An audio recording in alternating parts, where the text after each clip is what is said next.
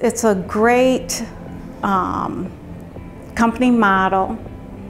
You have great support systems within N-Hance Corporate, I want to say, and with other owners.